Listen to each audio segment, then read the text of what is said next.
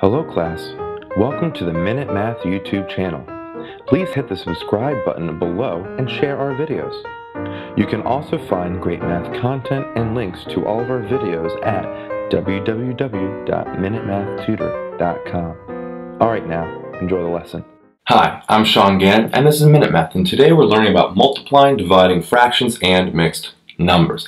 And we're going to find each quotient. So, if I was given these numbers, negative 3 and 7 tenths divided by 2 and 1 fourth. Okay? Well, if you're like me, I don't like improper proper fractions with multiplication and division. I prefer improper fractions, so let's convert that. 10 times 3 is 30, plus 7 is 37. Over 10, don't forget the negative, divided by. Okay, uh, it's a weird division symbol, sorry. 4 times 2 is 8, plus 1 is 9, 9 fourths. Again, if you're like me though, I do not like division. All right, I like multiplication. So I convert this to be a multiplication problem. Negative 37 over 10 times, well, 9 fourths, flip that, we have 4 over 9. Okay? Now I try to see, is there any way that I can simplify this? And yeah, I can, right? 10 and 4 are both divisible by 2. Let's put 2 there. 10 is not uh, 10 divided by 2 is not 2, but it is 5. Excuse me. All right, so we have 5 there. 5. So 4 divided by 2 is 2, and 10 divided by 2 is 5. So now, let's go see if we can multiply this out, okay? Negative 37 times 2. Oh, off the top of my head, I'm not going to try to do that. 37 times 2, because chances are I mess it up.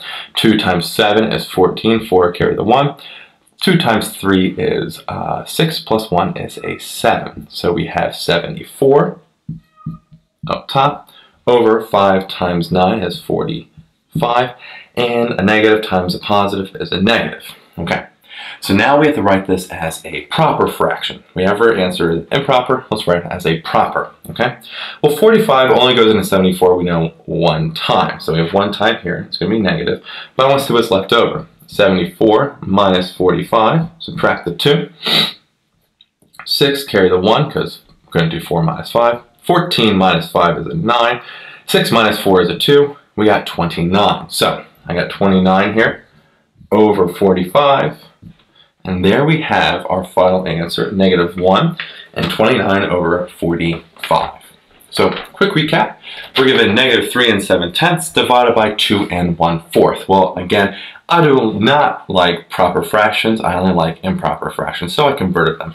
Then I don't like division. I like multiplication. So flip the second number and multiply it. So negative 37 over 10 times 4 over 9 multiplied or simplified that, then multiplied across the numerator, multiplied across the denominator. Then I got negative 74 over 45, which I then converted to be a proper fraction. So again, final answer, negative 1 and 29 over 45.